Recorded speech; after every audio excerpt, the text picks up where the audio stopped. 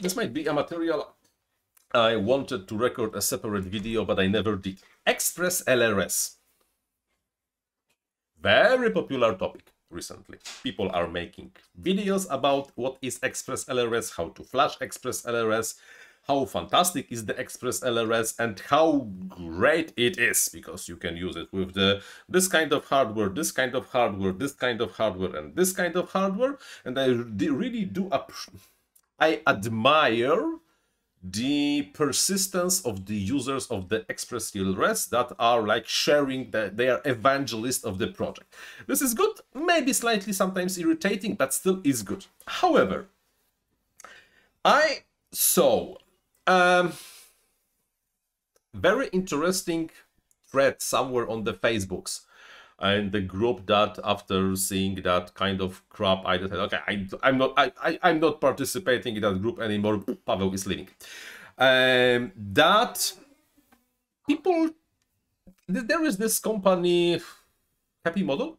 Happy model yes happy model that are making the express lrs specific hardware. They are building uh, the basically the hardware to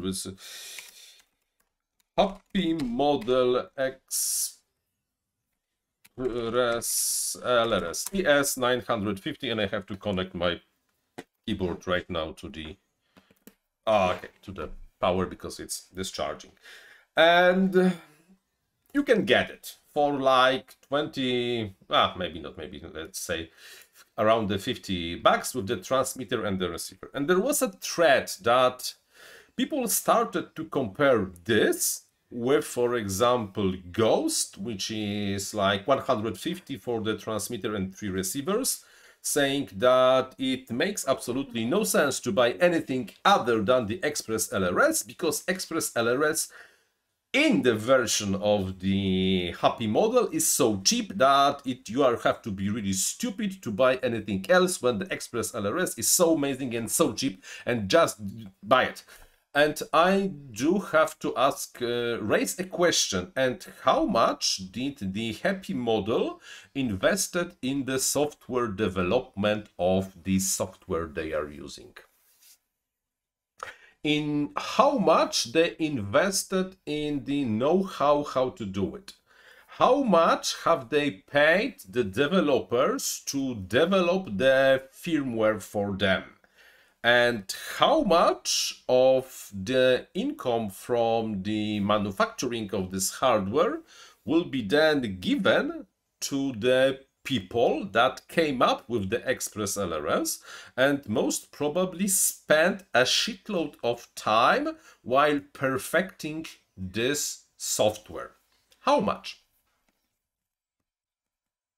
I don't know because nobody showed me any bill ever.